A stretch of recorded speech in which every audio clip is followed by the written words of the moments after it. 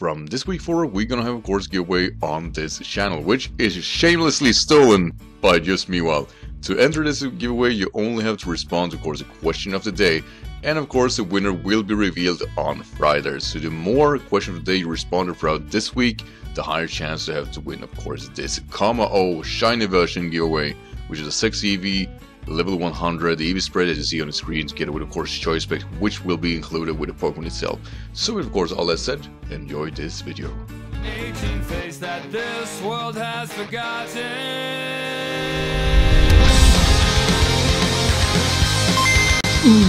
What is up guys, and of course welcome to another Pokemon Wi-Fi battle with just of course the Skyrander. And today we're going up against Under the Radar or Kelly so before even go into the battle itself, make sure to check out Kelly's channel, which of course will be linked down below.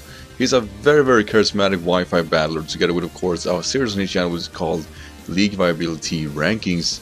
Uh, a very very fun series in general, a lot of information, it's very very prominent, very very going through a lot of differentials with the Pokemon themselves, so I definitely encourage you guys to check that series out, if anything. So going into this game, we actually had a bit of a dialogue that either we go, you know, full meme team, or we go with something more viable, and he was all for, you know, go with more, more of the unviable Pokemon. So you see on my, on my side of the field here, we got a Alolan Banded Exeggutor, Power Herb Drifblim, uh, C-Move Meditate Eelektross, Scope Lens Ariados, Banded Technician Persian, and Specs um, Toucannon. So on it, it's it's not the most viable kind of a combination here. And my opponent here is actually bringing a bit of a tougher team, but definitely not impossible to deal with, with Togedemaru, Starmie, Sudowoodo, uh, Decidueye Kommo-o, and Mega Sharpedo.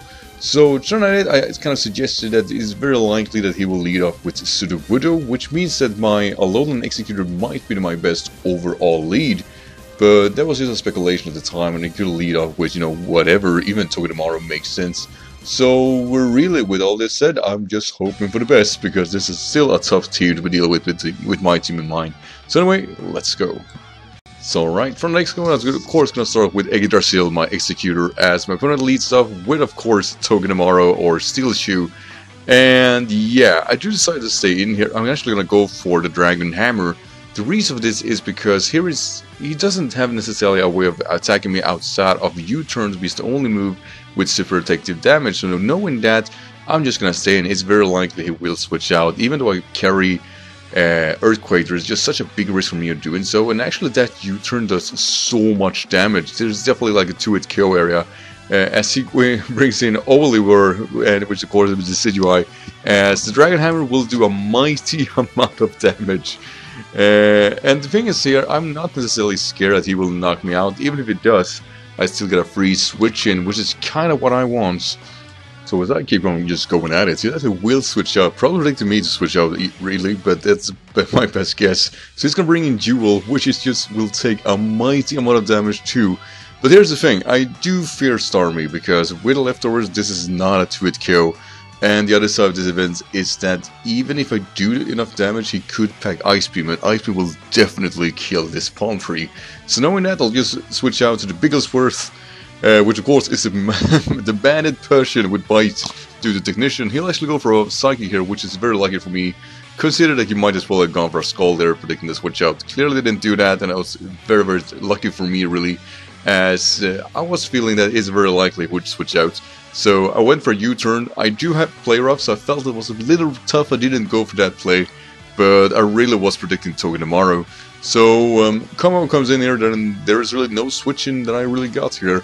My best bet is to hope that my Brum or of course my Specs Boomburst Toucannon can do enough damage and survive a hit from it.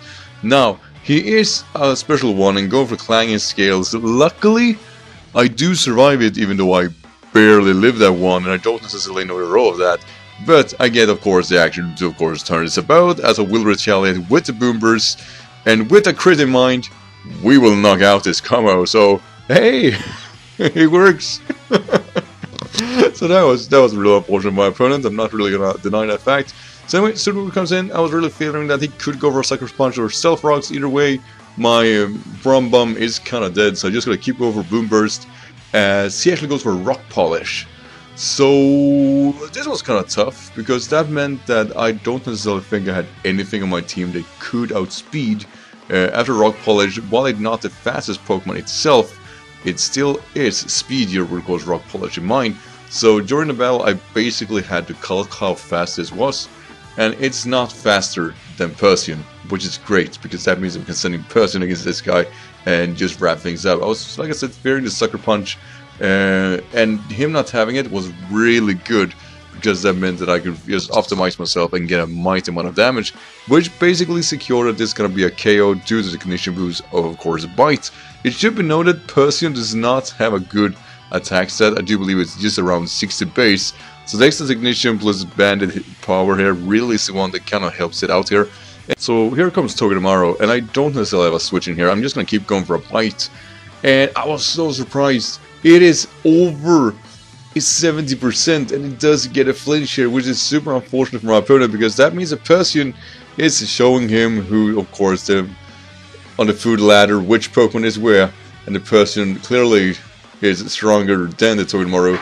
Here comes Sharpedo though, and here I was kind of feeling that, you know, this is probably a wrap. I don't necessarily know if I have any Pokemon that can take on a Mega Sharpedo. I was really hoping that this was not the Mega form, that was running some Lifer variants or anything like that. Uh, and we do see Protect here, definitely trying to protect himself for the bite, and of course, avoiding any kind of possible damage output, or of course, if I play rough anything like that, or U-turn. So he goes for another Protect, and makes sense, he makes sure he actually outspeeds any possible Scarfer if I have some kind of weird speeds here, which I do not. So anyway, my Yggdrasil is basically for the sacking here, there's really nothing I can do to kind of avoid the situation.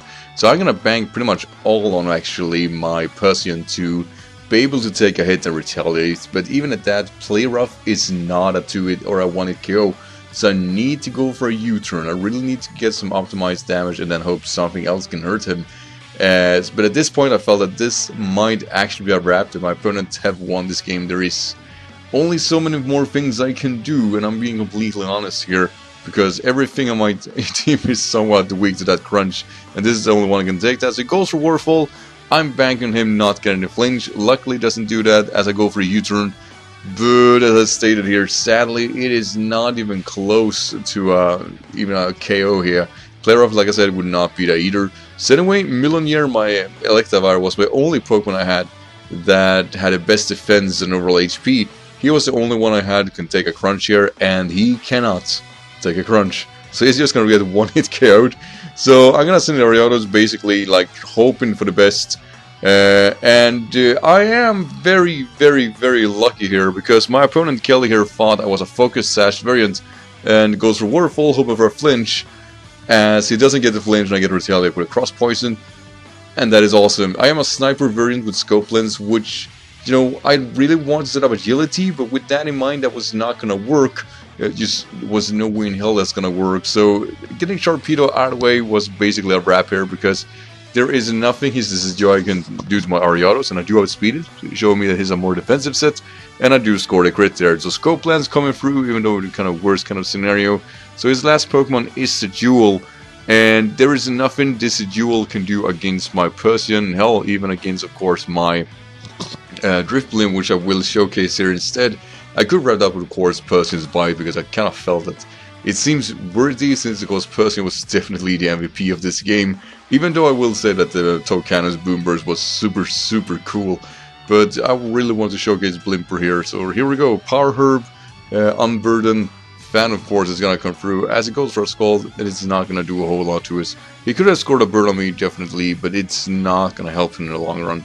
So here comes the Phantom Force, and it's of course a one-hit KO because it's freaking Phantom Force. It's that's a powerful hit. Plus the Drifblim actually has a decent attack to it. So hey, it worked. So that's a wrap up. You know, clearly a very very lucky win on my side, really. So thank you so much, Kelly, for this game. So yeah, a quick rundown because definitely I do believe my opponent deserves that. I'm not gonna deny it. Had he gone for crunch with his Ariados, he would have won this game. Like there is no way from that wrap up that I any Pokemon that could have taken that hit. And uh, yeah, quite honestly, luck is such a big factor here. Um, I did have a lot of fun though. I really felt that you know the hacks in my you know the flinch and you know the crit of course with boom burst probably helped me you know avoiding the massacre that could have been this matchup because Kelly is a very good trainer and he definitely took a step back to be a bit more fun. And uh, it punished him definitely and the hacks definitely enforced that. So I do believe in a, in a more normal kind of environment Kelly is the better battler between us two uh, I definitely think in the meta he definitely are the smarter but in this particular game I got some momentum and it definitely showed and helped so with that said, um, thank you so much Killer Force, for actually having me for a battle and also for everybody who's been watching make sure to check this guy out because he's actually great, definitely one of the good ones in the community. So with that said guys, thank you so much for watching and I'll see you in the next video. Until then of course, take care. Bye.